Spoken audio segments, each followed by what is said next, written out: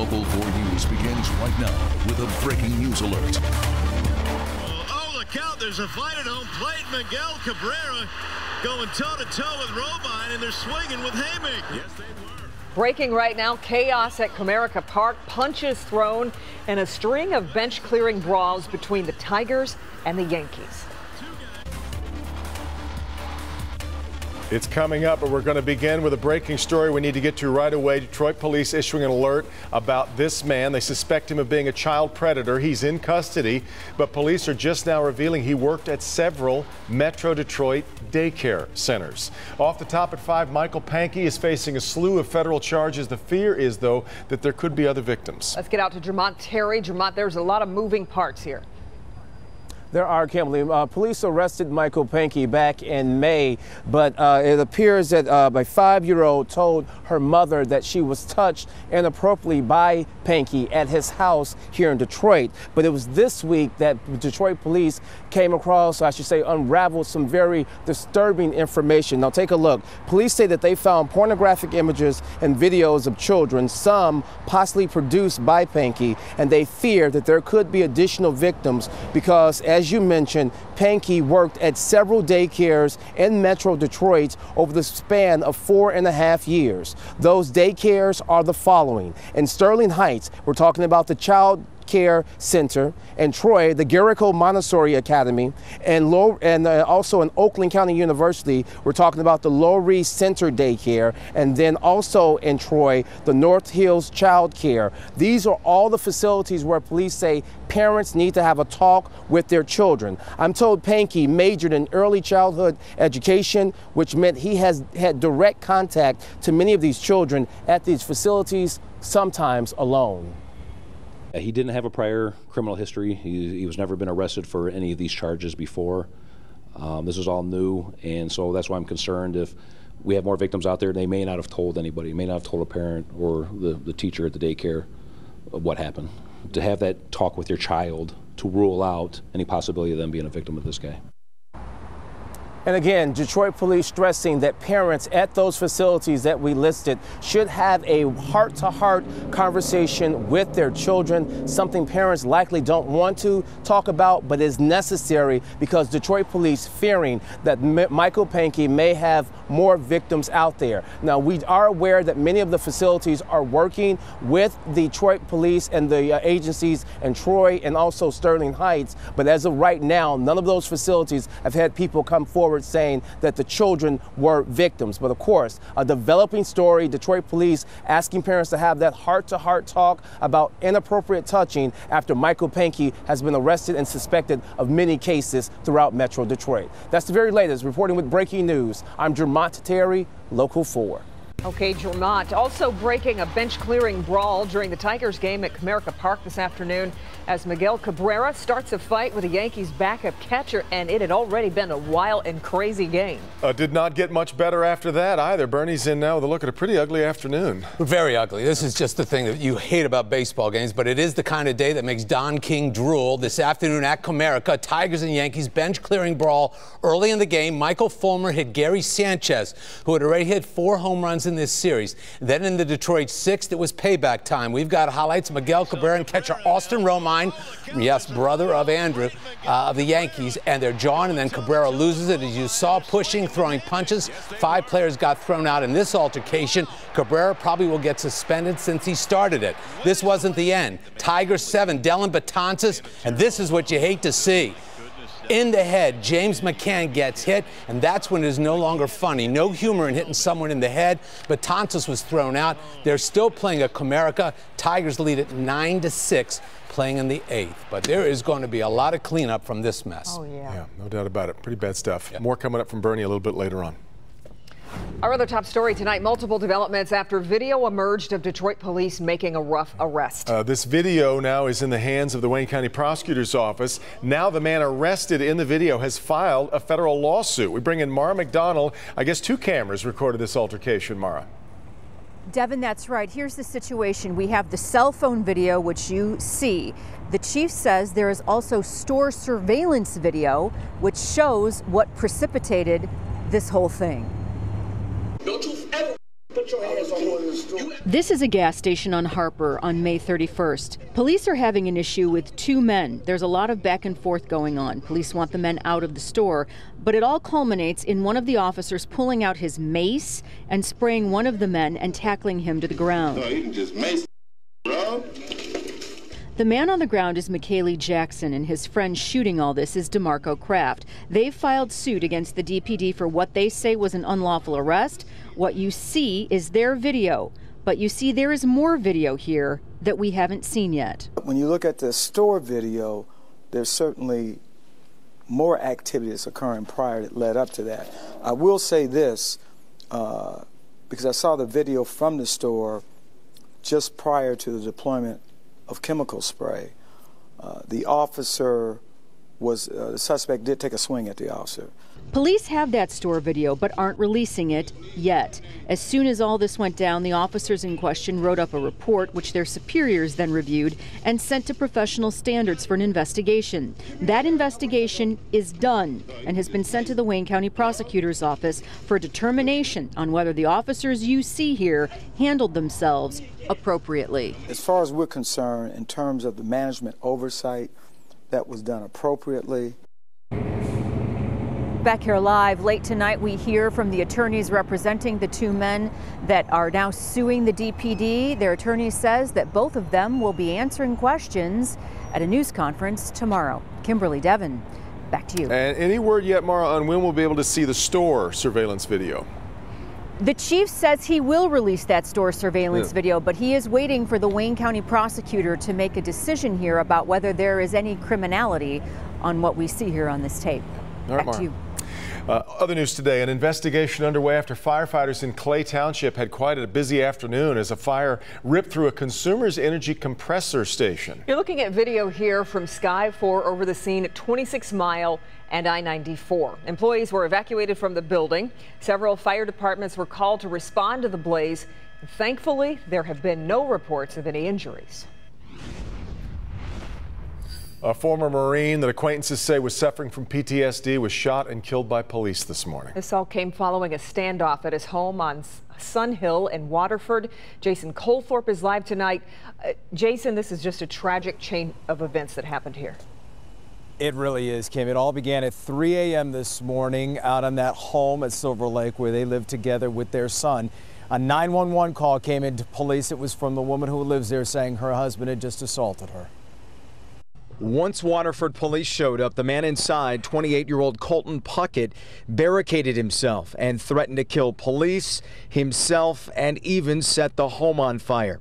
Police say over the next couple of hours, they would sporadically talk by phone to Puckett, who at one point fired a shot. Eventually, the Oakland County Sheriff's SWAT team surrounded the house, and when Puckett came out a side door armed with a loaded shotgun and charged an officer just before 6 a.m., they opened fire. I heard like five gunshots and then a short pause, and I heard another three. So that was kind of shocking to wake up to, and it was very scary as well. Neighbors in this very quiet, secluded area near Silver Lake were stunned.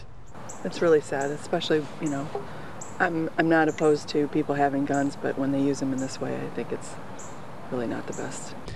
A woman who told me her nephew served with him said Puckett normally was a loving husband and father, but had been suffering from PTSD for years since returning from Afghanistan and had just learned of the deaths of two other Marine buddies in the last three months.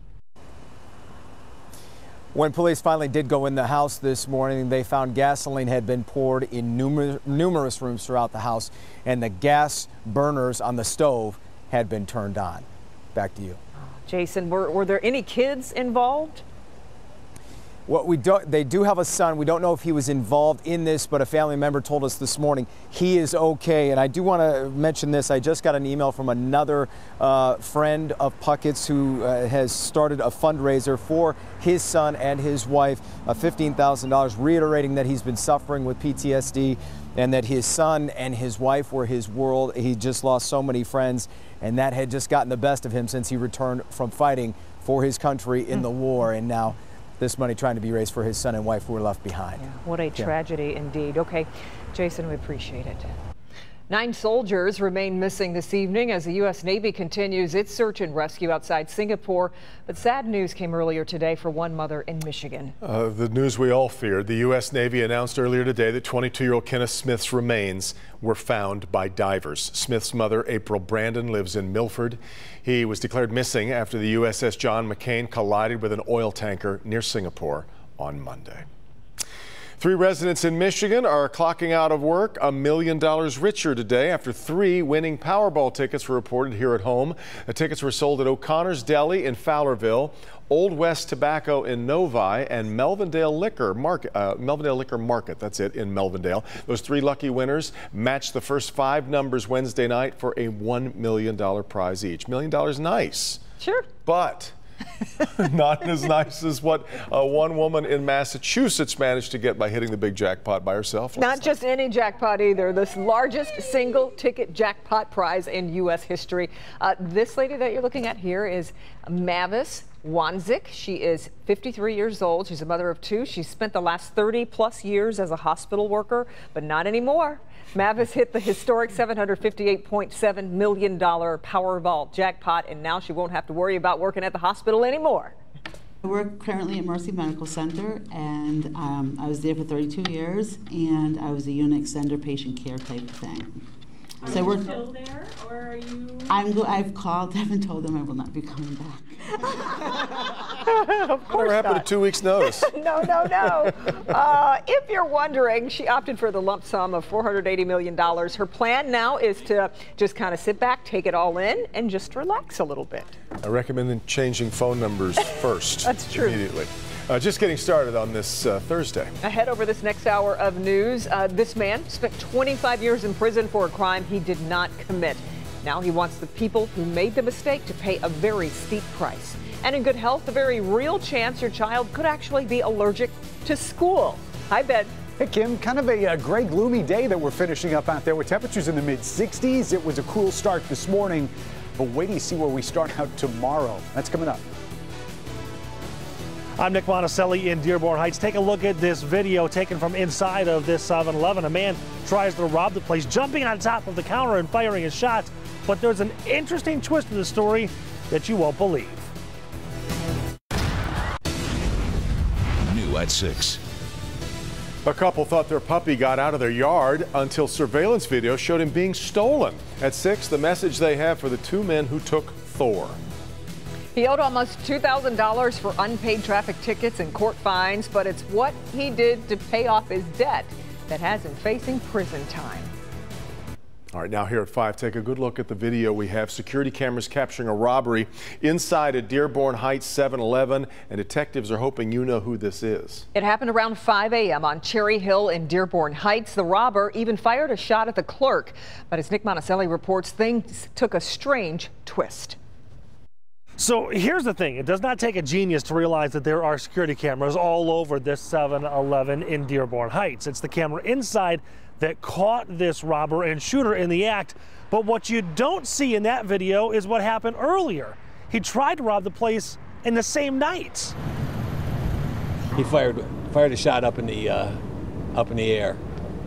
A little machine gun looking thing too. It was scary. It was not, not a happy day around. Benny is a regular at this 7-Eleven on Cherry Hill in Dearborn Heights. He gets a coffee here almost every day. But today, this happened. Uh, he was he was on a mission from God. He, he scared us. We ran out. The robbery was early this morning, which you can clearly see in the surveillance video. He walks in, gun drawn, jumps on top of the counter, and then shoots at the clerk, but misses. The clerk and Benny ran out as fast as they could. I was high footing it out of there. I didn't want to spend any more time. I had my coffee. I was ready to go home. The robber then spends just a minute trying to break into the cash register. He can't, so he takes what appears to be just one bottle of liquor. All of that in armed robbery and potentially attempted murder for a bottle of booze. And this was his second try that night. Dearborn Heights investigators say the first time the clerk fought him off with a bat.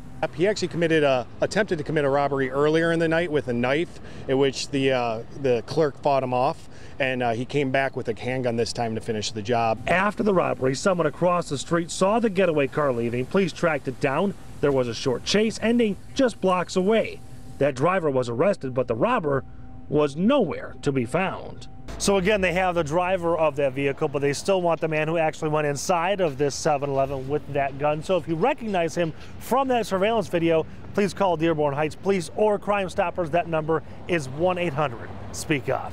In Dearborn Heights, Nick Monacelli, Local 4. Okay, Nick, and as Nick mentioned, because the robber fired a shot at the clerk, the Wayne County Prosecutor's Office will decide if there should be attempted murder charges on top of the armed robbery charges.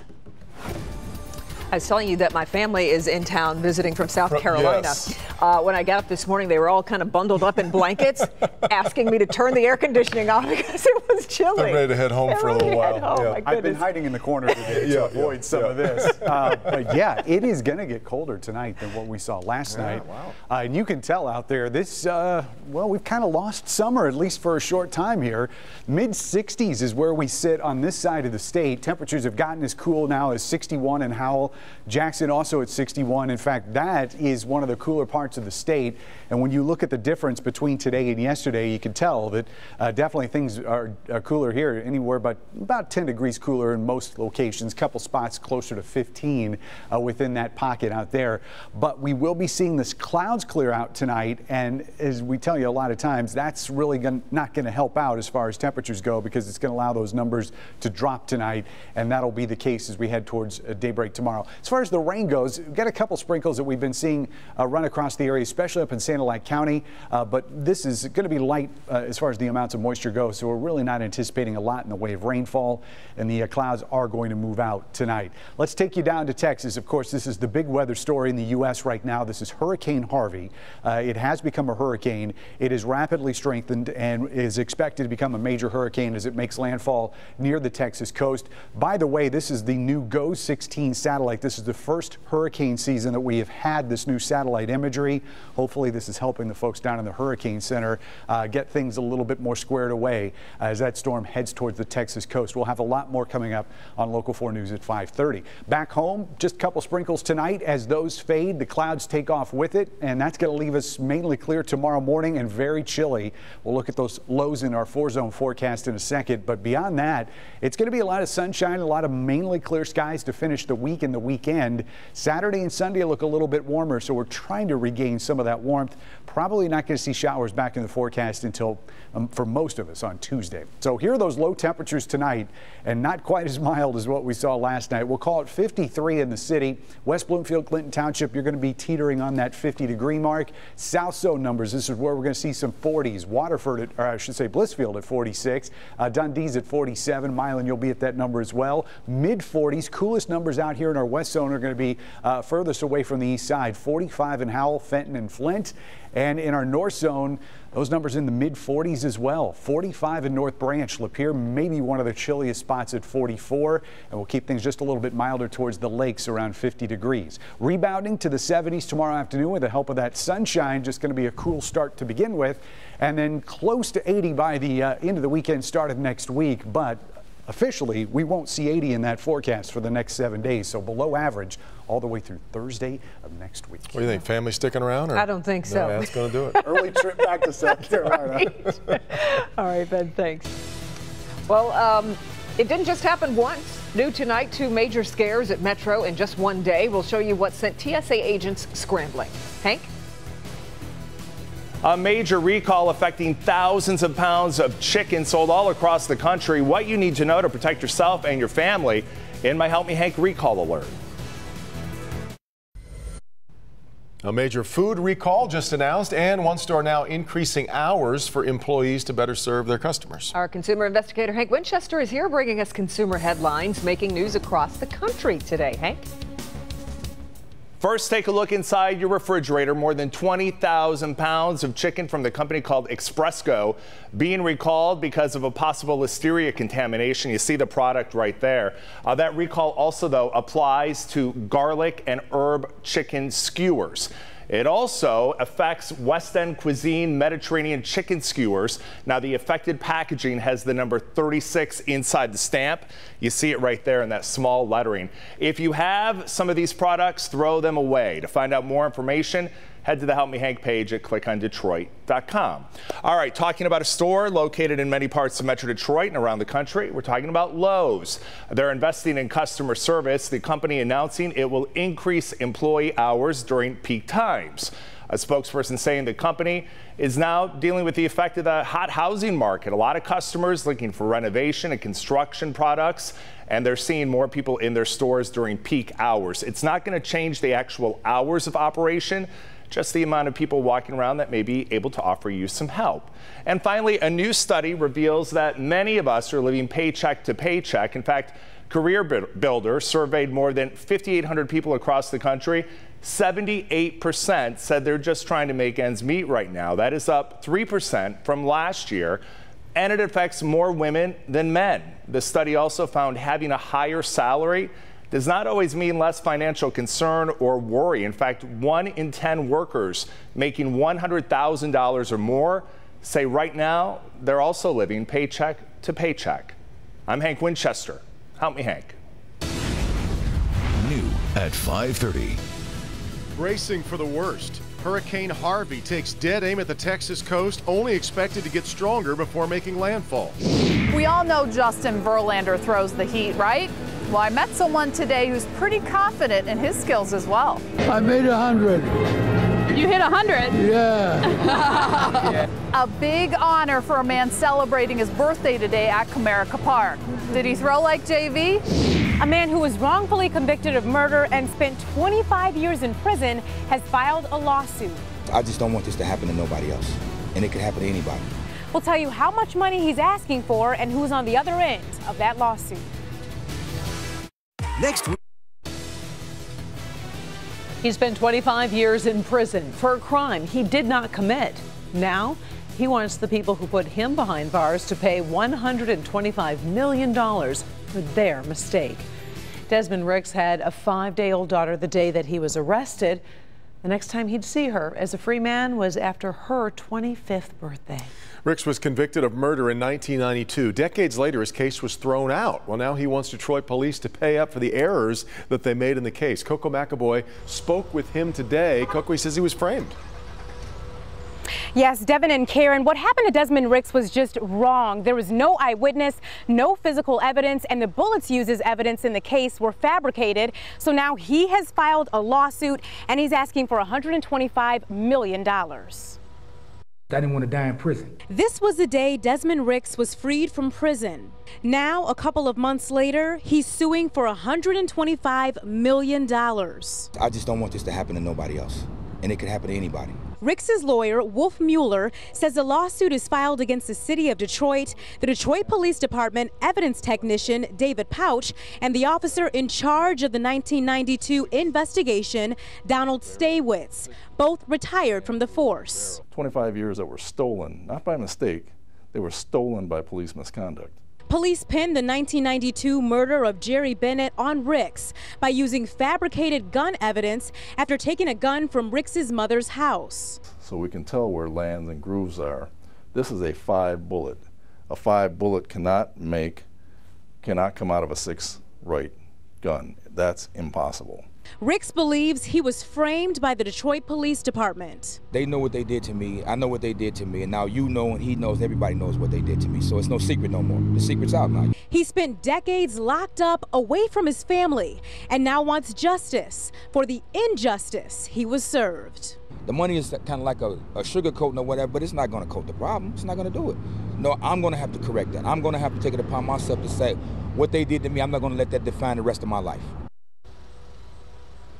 And the crime lab that was operating back in 1992 was shut down after a 2008 audit showing misconduct. Back to you. Well, Koco, if Ricks wins the lawsuit, what could happen to the, the former Detroit Police Department employees? Does that, does that mean a possibility of prison time or what? It doesn't seem like they'll face prison time at this time only because of statute of limitations. However, they are each being charged wow. $25 million in punitive damages, and they may be responsible for paying that. Wow. All right, Koco. Well, from Beaumont to Brownsville, the Texas Gulf Coast under the gun right now. Yes, as Hurricane Harvey gains intensity as it marches closer to the shore, Ben is tracking the growing storm tonight, and this is serious, Ben. It is very serious, Karen. Uh, there are blue skies in Houston right now.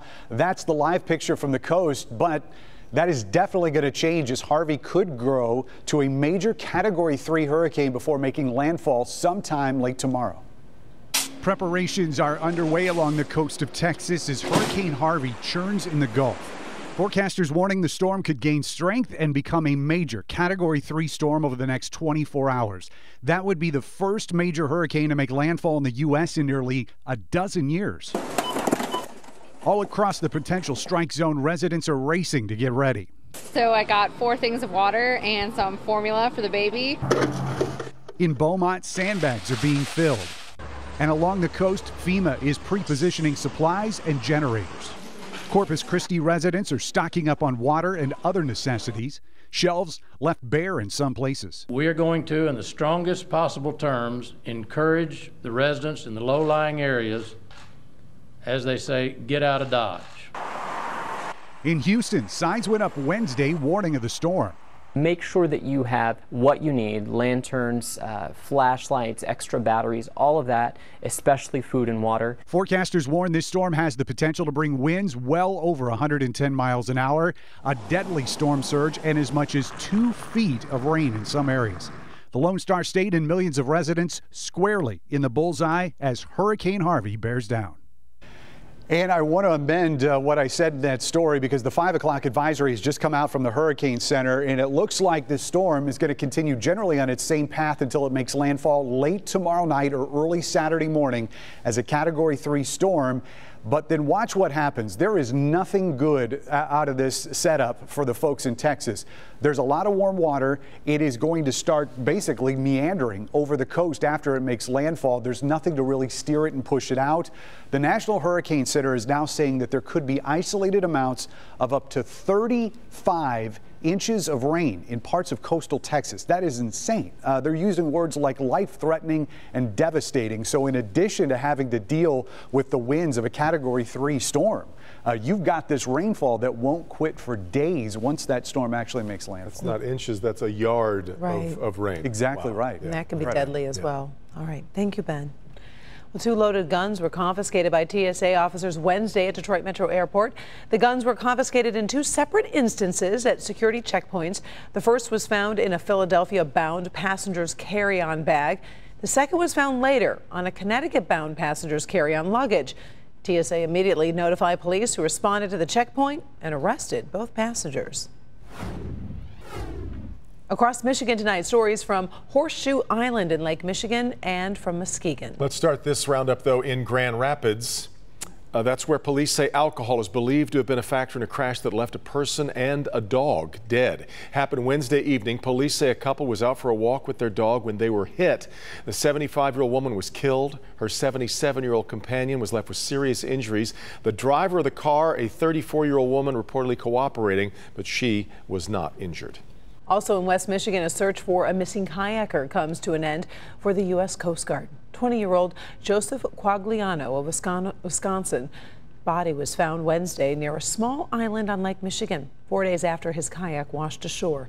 Officials say he was reported missing Saturday night. The Coast Guard sent three different helicopters in the search efforts.